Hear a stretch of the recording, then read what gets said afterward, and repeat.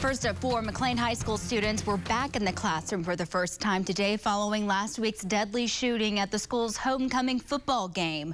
One student was killed. Thanks for joining us. I'm Tatum Gwynn. News on 6's Amy Slanchik is live in front of the high school with how alumni showed up to support students today. Amy?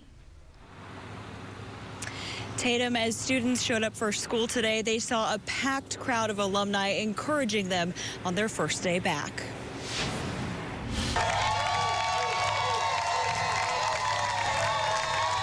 McLain High Schoolers stepped back on campus today with a warm welcome from alumni, faith leaders, and Tulsa Police Chief Wendell Franklin. Today, the community showed up big time to welcome our kids back. There were hugs, fist bumps, high fives, and music, all to start the day off on a positive note. Good morning.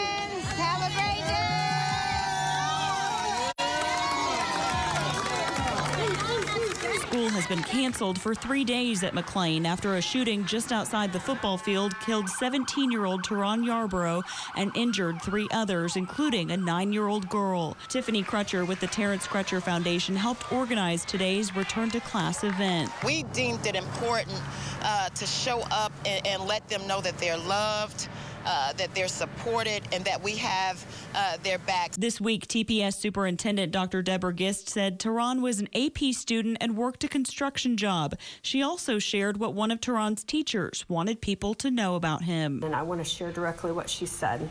Tehran was absolutely brilliant and incredibly talented in math and science. He was balancing home and school with hard work in the construction industry.